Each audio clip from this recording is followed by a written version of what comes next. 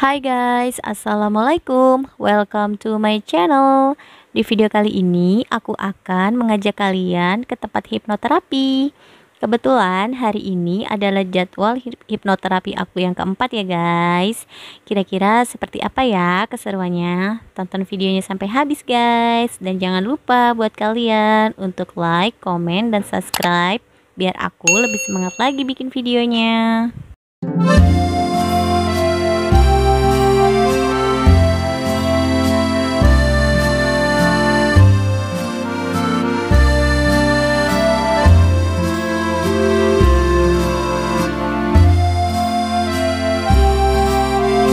Oke, kita udah sampai. Jadi ini dia ya tempat hipnoterapinya. Tempatnya ini ada di Gedung NK Jakarta Selatan. Langsung aja kita masuk. Sebagai informasi guys, hipnoterapi merupakan metode memasuki alam bawah sadar seseorang untuk kemudian diberikan sugesti-sugesti positif agar bisa membuang perasaan-perasaan negatif yang tertanam dalam diri seseorang.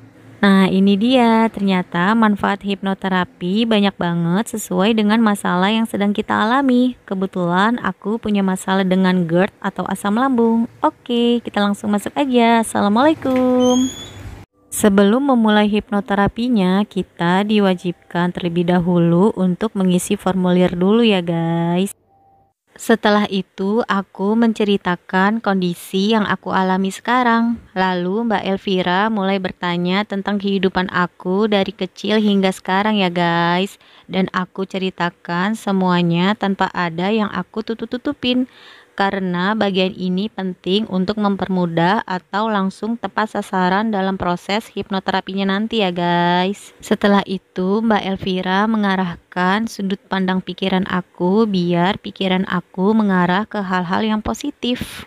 Karena bagian otak manusia terbagi menjadi dua sisi ya guys, otak kanan dan otak kiri.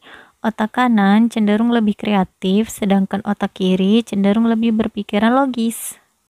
Oke, kita masuk ke sesi hipnoterapinya. Jujur ya guys, aku itu deg-degan banget setiap mau mulai hipnoterapi.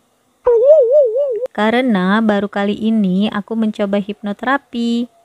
Dan Mbak Elvira juga mulai menghipnotis aku guys. Nah di sini ini kita harus matiin otak logika kita ya guys. Pokoknya kita ikutin apa aja yang dikatakan Mbak Elvira dan jangan ngelawan dan satu, dua, tiga. Wow. Aku mulai terhipnotis.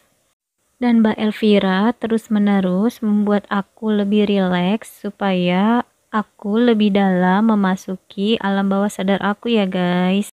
Nah ini itu aku udah mulai masuk ke dalam alam bawah sadar aku dan mulai dengan sesi healingnya. Di sini aku dibawa ke masa-masa yang bikin aku sakit Dulu itu aku berpikir kejadian itu hal biasa aja, tapi ternyata menjadi dampak yang buruk di kehidupan aku yang sekarang ya guys.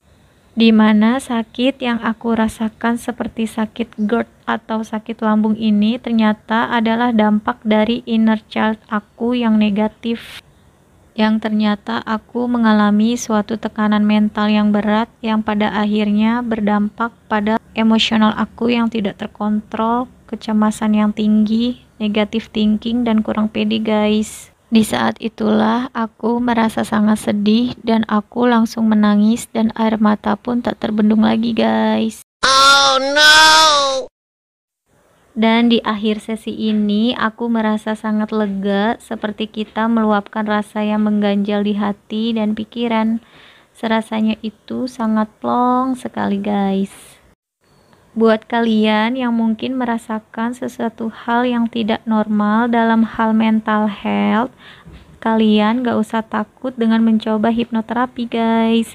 Karena hipnoterapi itu gabungan dari ilmu komunikasi dan psikologi. Jadi gak ada hubungannya ya guys dengan makhluk-makhluk gaib.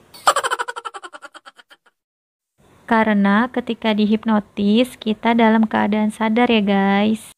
Buat kalian yang mau coba hipnoterapi, langsung aja datang ke rumah kasih Elvira. Untuk lebih lengkapnya, silakan kalian cek di deskripsi ya guys.